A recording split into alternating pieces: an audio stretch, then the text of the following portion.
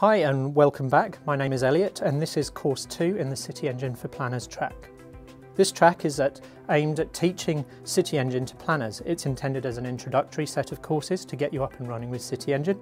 I strongly recommend that you do all the courses in order to gain a better understanding of City Engine. In this track, we're aiming to build a small urban area here in Koreatown.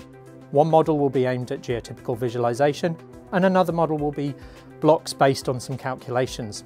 We're going to start coding almost immediately in this course and explore the basic principles of City Engine's proprietary coding language called Computer Generated Architecture, or CGA for short.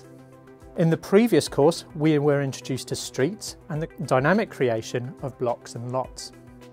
At the end of the last course, I also demoed very quickly some of the City Engine rules will end up being created. In this course, I will introduce you to first principles of rule creation, a simple rule, how to assign that rule, and show you how errors in the code are displayed.